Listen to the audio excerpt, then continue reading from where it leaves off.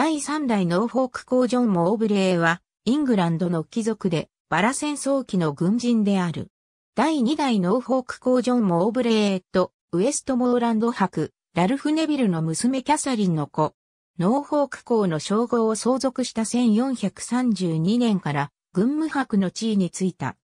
1450年代のバラ戦争の初期には、ヨーク家のヨーク公、リチャードの側についていた。しかし、1459年にはランカスター家のヘンリー6世に忠誠を誓うも、その後すぐにヨーク派に戻った。この種の裏切りは、優劣の目まぐるしく映るバラ戦争中には、決して珍しくはなかった。1461年2月に、第二次戦闘オルバンズの戦いでヨーク派として戦ったが敗れた。3月にヨーク公の息子マーチ伯エドワードに即位を促したりもしている。